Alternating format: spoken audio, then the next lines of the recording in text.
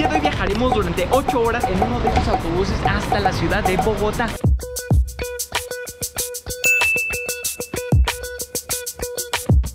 El día de hoy amigos estoy muy nervioso porque... No, de hecho estoy nervioso amigos Estoy esperando un camioncito porque viajaremos durante 8 horas Durante 8 horas en uno de estos autobuses O sea, como tal es un viaje bastante largo se podría decir Pero aquí lo curioso es que yo nunca he estado más de...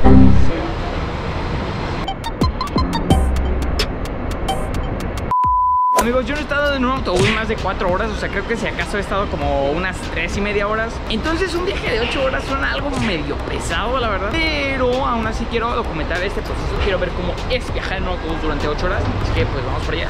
El día de hoy tenemos esto, amigos, traemos una bolsa como de ropa, o cosas que acabo de comprar y también una mochila que de hecho no es tan pesada, pero traemos cosas. No sé cómo vaya a ser, o sea, he viajado en autobús antes en otros países y me he dado cuenta de que es un poquito pues fácil si te vas durmiendo. Ahorita estamos esperando a que abran las puertas o sea, ya son las 8.40, 8.40 Me tocó el asiento número 23 Parece que están abordando, pero no, de hecho ese es otro Creo que en el que yo voy a ir es en este. Es un viaje que aproximadamente son de unos 240 kilómetros. Lo que yo no entiendo es como por qué dura 8 horas.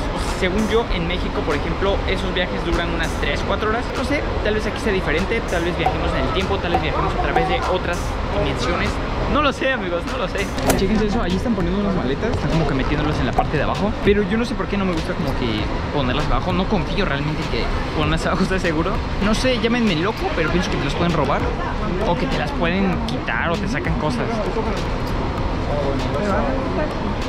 No, amigos, no, me tocó con otra persona. Estamos abordando. Vale, verga, Lalo. Lalo, cuando ves esto, me tocó, me tocó con una persona, güey. Está. Ok, y amigos, ya estamos dentro. Vean, chequense. Pero siento que los asientos son bastante cómodos. Es este, el 23, me tocó pintano. Como tal, no está mal del espacio, lo suficiente como para que extienda las piernas.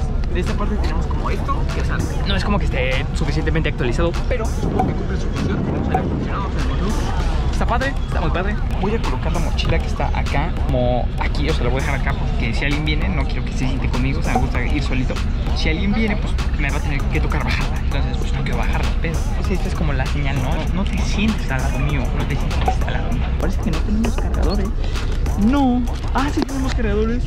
Sí. Voy a conectar mi celular a ver si se carga. No, amigos, no, no cargó. Puta madre, no cargó, amigos. Aquí, aquí un dude nos está vendiendo y unos chocolates, algo así. Ustedes le pueden ver la fecha de vencimiento. Chocolate con Hasta ahorita vamos bastante bien, o sea, me ha tocado solo y parece que no nadie se va a sentar acá. Bueno, parece creo que soy de los poquitos que tienen un asiento para sí solos, entonces creo que vamos bastante bien. Chequense esto, amigos, los asientos son reclinables, son lo suficientemente reclinables como para que puedas dormir un ratito. Están padres, por lo menos más que los del avión están más cómodos. Eso estuvo cerca, amigos. Estuvo cerquísima, casi cerca de que Alice se sentara conmigo. Entonces, pues creo que está mejor así.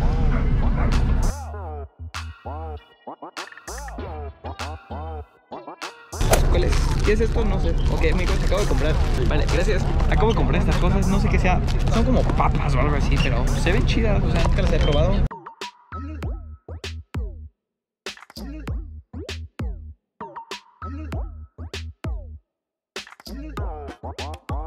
Hacer la primera parada. Yo venía un poco medio durmiendo. Ya, como pueden ver, ya venía medio acostado acá, durmiendo así.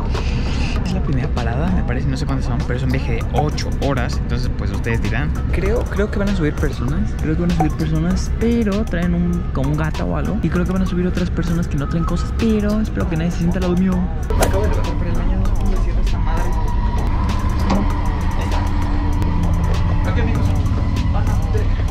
Ok, eh, es medio difícil ir aquí en el baño.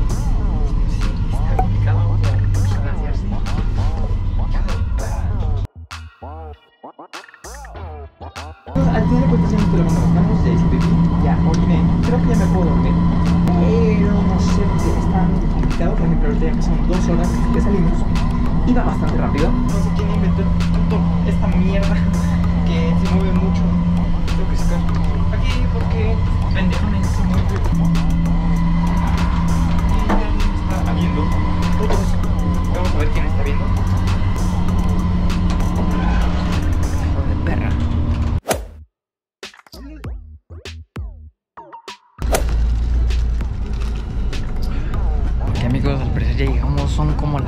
como las 3 de la mañana, las 6 de la mañana, no sé, 5 y media de la mañana. Dormí, no sé, entre 2 y 3 horas.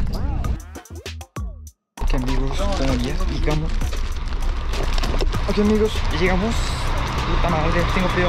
Pues no hace tanto frío de hecho, o sea, no, hace como que normal. Y miren, trajimos nuestra basura. Entonces, basura siempre en su lugar. Y miren, les voy a enseñar algo. Yo estoy casi seguro de que ahorita por donde salgamos nos van a ofrecer cosas. Entonces les voy a enseñar cómo aplicar una técnica que vi en Los Simpson, que es cuando no quieres que la gente te hable. Voy a enseñar algo. Ahorita al parecer hay una persona que me está viendo y vamos a pasar al lado izquierdo. Bueno, no sé si sé yo, soy el paranoico, pero no me gusta cuando empiezan a ver así, porque, miren, eso, eso está moviendo igual que yo, al mismo tiempo que yo me muevo, se mueve. Entonces, no sé, amigos, soy como medio paranoico en ese aspecto y me voy a hacer, me voy a hacer tonto por aquí un ratito en lo que se mueve, porque se me hace sospechoso. Entonces, me voy a esperar tantito. Ahorita tenemos que caminar hasta esta parte que es donde salen los camioncitos que te llevan. Ahorita vamos a tomar un camioncito un transporte público para llegar. Aquí hay un parque, se ve muy limpio. No sé si eso es bueno o malo, o sea, el que haya, el que no haya gente, o sea, no sé, porque me atrevería a decir que cuando hay muchas personas, pues es peligroso. Y cuando no hay muchas personas, también suele ser peligroso.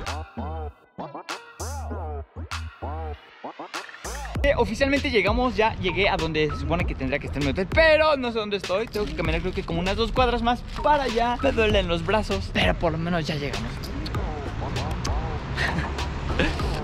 No sé qué fue eso amigos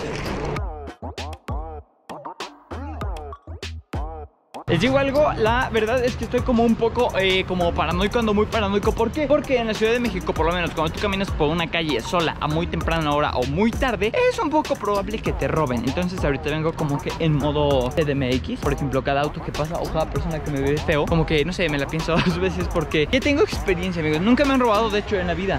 Nunca me han robado y no quiero que me roben. Entonces ya traigo esa experiencia de la Ciudad de México entonces en este momento ando como que medio paranoico. Por ejemplo ese ciclista se ve como que me quería robar. O bueno, tal vez no.